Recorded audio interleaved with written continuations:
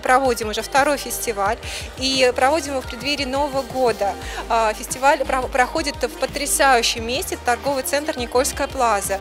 И э, уже сегодня мы чувствуем, что Новый год не за горами, что по- нужно покупать подарки, нужно создавать хорошее настроение, несмотря на сложности и проблемные какие-то ситуации текущего и, как я надеюсь, прошлого года, смотреть в будущее с надеждой и реализовывать все свои планы. Это не так просто, но нужно идти вперед.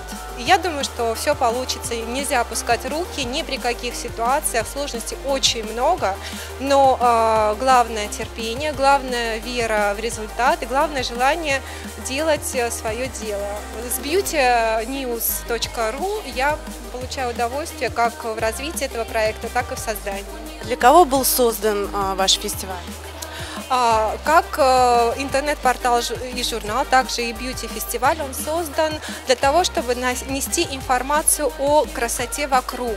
Это не только beauty-сегмент, это не только fashion, но это красивые люди, талантливые исполнители, это э, прекрасные друзья, которых у меня, как оказалось, и сегодня, и э, во время первого фестиваля очень много. И я им безмерно благодарна за участие и поддержку нашего проекта. Нам в апреле исполняется два года, тем не менее проделан очень серьезный и, я считаю, очень м, позитивный и правильный путь.